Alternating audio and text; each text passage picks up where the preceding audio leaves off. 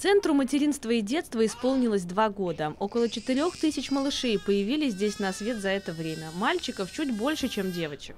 У нас э, очень хорошее отделение реанимации новорожденных. За два года через него прошло 260 детей, из них 9 э, это были дети глубоко недоношенные, с, с экстремальной массой тела меньше килограмма.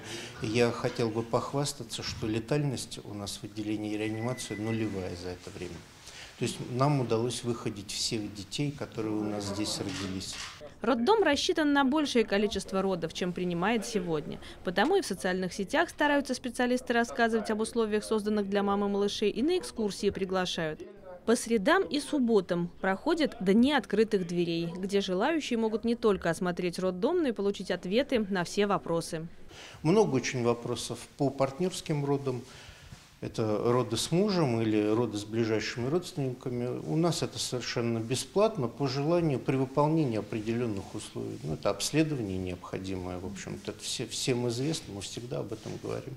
Рядом с родильным отделением разместили гинекологическое и патологии беременностей. За два года здесь получили помощь 16 тысяч пациентов.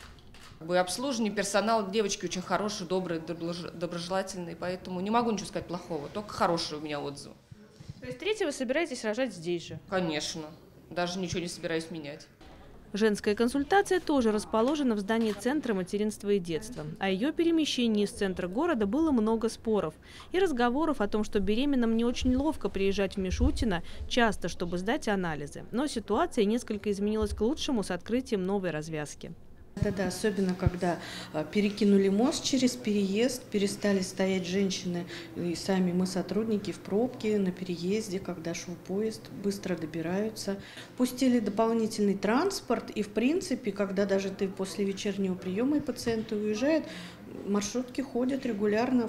Есть неоспоримые преимущества в расположении на одной территории женской консультации, гинекологического отделения, отделения патологии беременности и роддома. Если женщина обратилась экстренно, а, мы оказали помощь на этапе женской консультации, посмотрели, сделали ей УЗИ. Если что, мы ее тут же проводили в отделение в зависимости от профиля, либо гинекологическое, либо акушерское отделение. Ей не надо никуда ехать, мы ее тут же проводили. Есть возможность оперативно собрать консилиум из врачей разных отделений, если случай требует быстрого и нестандартного решения. Вот лежала в патологии беременности, да, там на сохранении перед родами, в послеродовом отделении. Вполне достойные условия. Нет, вот искренне, честно, без преувеличений. Второй раз вернулись бы в роддом? Я бы вернулась уже четвертый. Поэтому будем стараться, еще придем. У Марии три дочки, так что про четвертого она говорит неспроста. И кто знает, быть может, к пятилетию Центра материнства и детства будем снимать ее в родильном отделении. Оксана Мирошникова, Антон Коврижных, программа «События».